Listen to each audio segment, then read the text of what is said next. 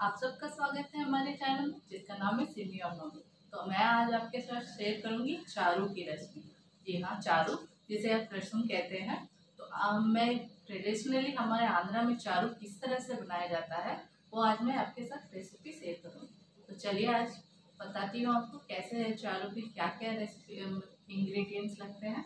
आइए। सबसे पहले हमने इमली ले लिया है। इमली हम थोड़े क्वांटिटी में लेंगे क्योंकि ये टमाटर का रसम है। रसम जो होता है, बहुत ही टाइप के होते हैं। आज मैं आपके साथ शेयर करूँगी टमाटर का रसम। तो इसलिए हम टमाटर डाल रहे हैं, इसलिए हम इमली कम लेंगे। और साथ में मैंने टमाटर लिया है, लहसुन ले लिया है, अदरक लिया है, धनिया पत्ता, हरा मिर्चा, जीरा और सरसों भी लिया है। और कुछ मसाले भी हैं, नमक और रसम पाउडर भी। रसम पाउडर का जो रेसिपी है, मैं आपके साथ बाद में शेयर करूँगी। फ्रेंड्स हम थोड़ा सा जीरा मिक्सी जार में डाल देंगे। थोड़ा सा हरा मिर्चा, लहसुन, अदरक, जितना हमने काटा है, अदरक पूरा डाल देंगे। और इसे हम चाहे तो कूट सकते हैं, नहीं तो मिक्सी भी कर सकते हैं। मैं मिक्सी कर दूँगी। मेरा मिक्सी हो गया है। मिक्सी मैंने ज़्यादा पेस्ट नहीं किया है, उसे दरदरा पीसा है। तो अब हम टमाटर काट लेंगे छोटा छोटा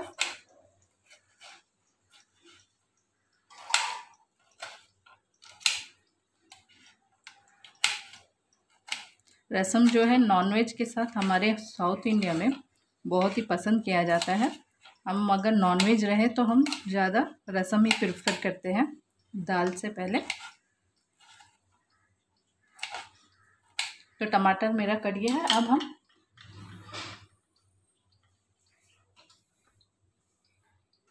एक पैन में ठा लेते हैं और उसे गरम कर लेते हैं।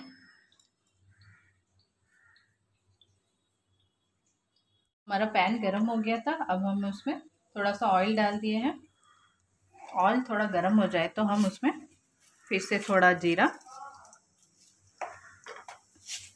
सरसों।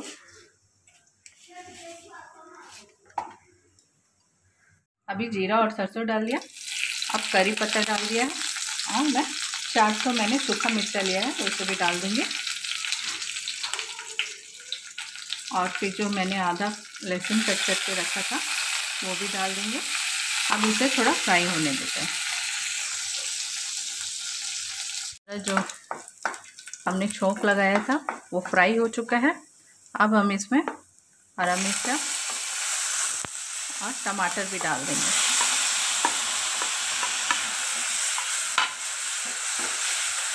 और इसे अच्छे से टमाटर को गलने के लिए रख देंगे। तो हमारा जो टमाटर है, वो फ्राई हो रहा है।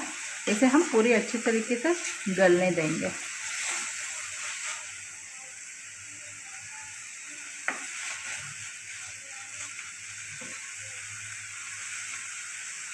देखिए, हमारा टमाटर जो है, थोड़ा गल चुका है। अब हमने जो ये मिक्सी करके रखा था, उसे उस मसाले को भी डाल देंगे पूरा। हमने जो मिक्सी करके रखा था, अदरक, लहसुन और थोड़ा जीरा, हरा मिर्चा का पेस्ट, मैंने उसे भी डाल दिया है। अब इसे थोड़ी देर और फ्राई करके, तब तक हमने जो ये इमली को भिगो के रखा था, इसे हम अच्छे से मिला लेते हैं।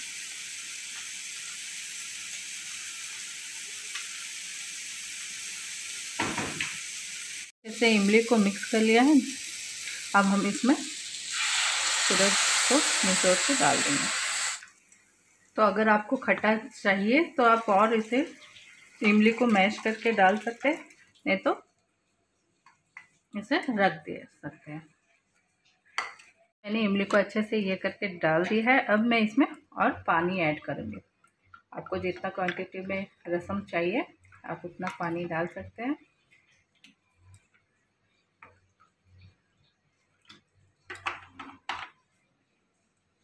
हम इसमें नमक डाल देंगे। नमक स्वाद अनुसार। थोड़ा सा रसम पाउडर, थोड़ा गरम मसाला पाउडर और हल्दी भी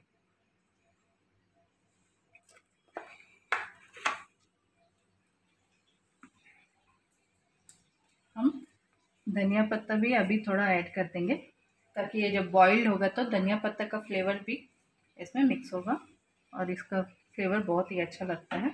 और अब हम इसे एकदम सिम में रख के बॉइल्ड होने देंगे।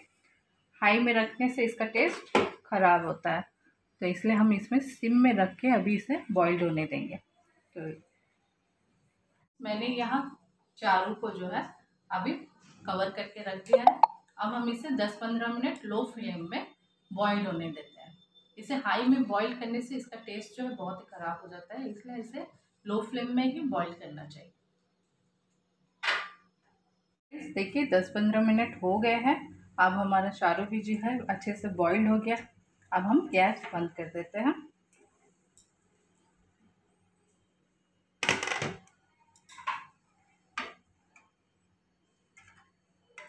लो फ्लेम में इसे बॉईल करने से इसका कलर जो है बहुत ही अच्छा आता है।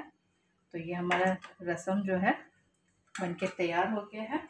अब मैं इसे सर्व कर देती हूँ। अब देखिए इसका कलर बहुत ही अच्छा आया है। देखिए हमारा रसम जो है बन के तैयार हो गया है। ये गर्मी के दिनों में जब कुछ खाने का दिल नहीं करता है तो इसे आप बना के टेस्ट करके ज़रूर देखें। इसका टेस्ट जो है, मुँह को भी बहुत अच्छा लगता है और डाइजेशन के लिए भी अच्छा है। तो आप ये रेसिपी ज़रूर ट्राई कीजिएगा और फिर हमें कमेंट करके ज़रूर बताइएगा कि आपको ये रेसिपी कैसा लगा। तो फिर मिलते हैं आपके साथ अगले ब्लॉग में। तब तक के लिए बने रहिए हमारे साथ। जिसका नाम है सिमी और मम्मी। बाय